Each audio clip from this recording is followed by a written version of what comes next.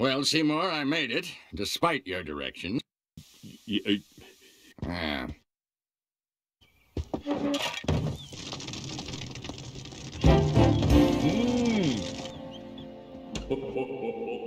Superintendent, I hope you're ready for mouth-watering hams. But what if I were to uh, stretch my calves on the windowsill? What is coming out of your oven, Seymour? It's the roasts we're having. Mmm. That's it? No.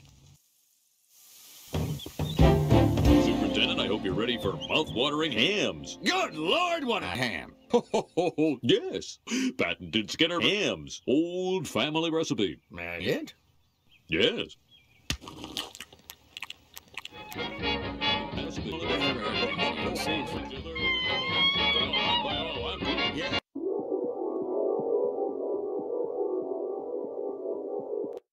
Excuse me for one second. Of course. Oh my God. Seymour! Seymour! Well, Seymour, you are an odd fellow, but I must say, you steam a good ham. Uh,